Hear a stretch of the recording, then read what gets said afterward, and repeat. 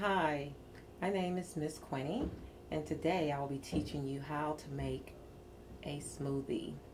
So, the equipment that we'll be using today would be the Vitamix. Vitamix is the ultimate in blenders. We've had our Vitamix for, um, this one here is it's new, but the one that we have at home we've had for 17 years, and it is just the best ever. Um, and we make probably five to six smoothies a day. So we're using the Vitamix. We'll also be using, um, that's probably about it as far as the equipment today. We do have also some measuring spoons as well. So today we'll be making a smoothie and this is a basic recipe for a smoothie. So with this recipe, you can interchange any types of fruits or vegetables that you want to use. So today for this um, recipe, we'll be using plant-based milk and a plant-based milk is any milk that's not you know that doesn't come from an animal. So examples of plant-based plant-based milk would be almond milk rice milk hemp milk cashew milk. Today we're using almond milk we're using one cup of almond milk. We also this recipe calls for one cup of kale Next, we'll be adding a half a cup of banana.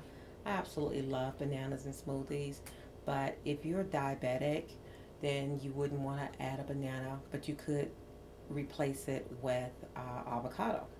Avocado will also help it to be very thick. And avocados are very nutritious. We're going to use also a half a cup of strawberries, half a cup of blueberries, This is a scoop of protein powder. And I'm going to talk a little bit about the protein powder. We've been making smoothies for well over 20 years. I feel like we've used every protein powder that's on the market.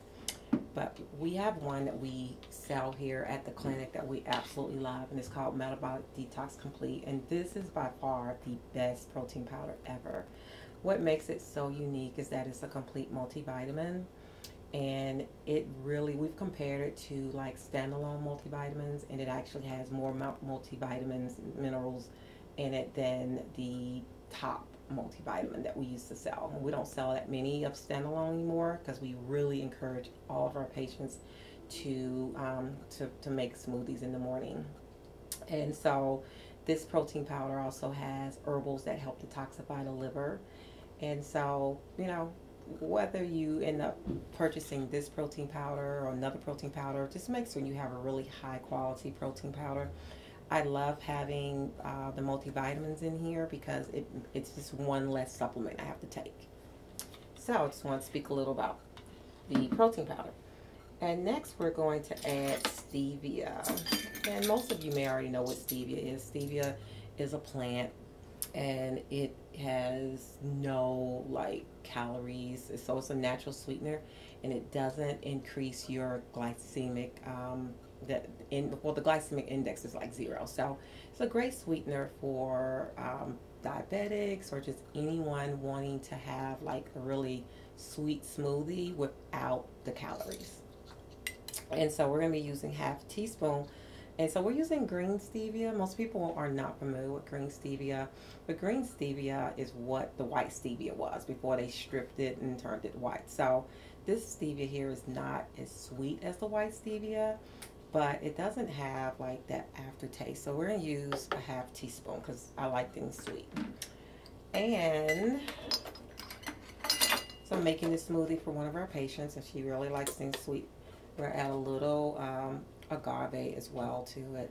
Probably equivalent to half a teaspoon of agave.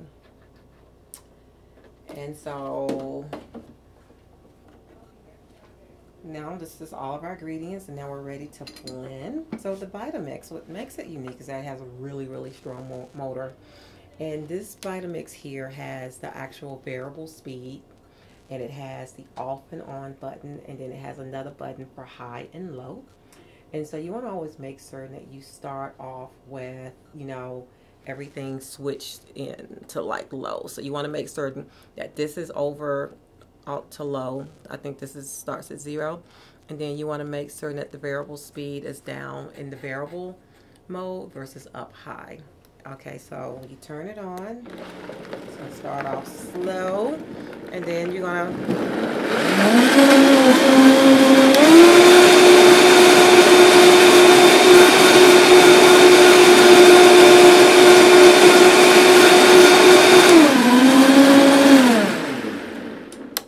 You see, it only takes a few seconds, whereas with other blenders, it would take, you know, a minute or two, if not longer. So we're gonna, and so this recipe calls for, it actually ends up yielding about 16 ounces. And this cup is 16 ounces.